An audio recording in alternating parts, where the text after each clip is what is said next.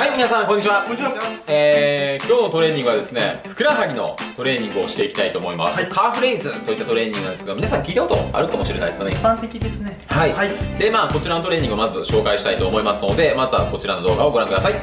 どうぞ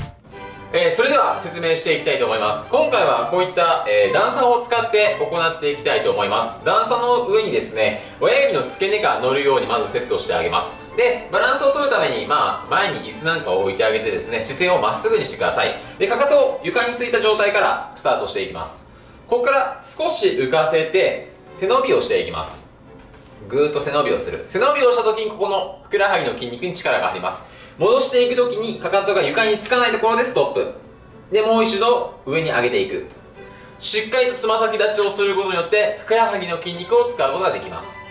この動作をしっかり繰り返して行ってみてください。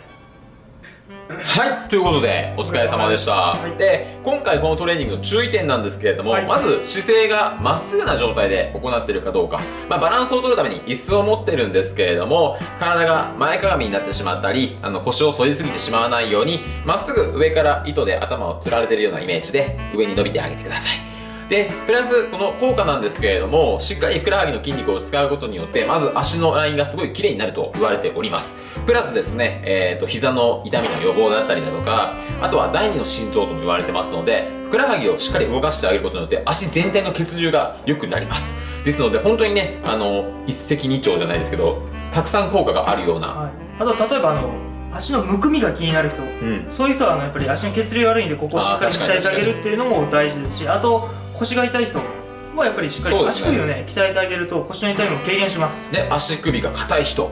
いっぱいあるんですよね、ふくらはぎのトレーニングっていうのは。ですので、簡単なトレーニングなので、しかもどこでもできると思います。はいはい、弾まないようにしっかり自分のふくらはぎを使っていることを確認しながら行ってみてください。ということで、今回はふくらはぎのトレーニング、カーフレーズを紹介しました。はい次回の動画でお会いしましょう。さよならさよなら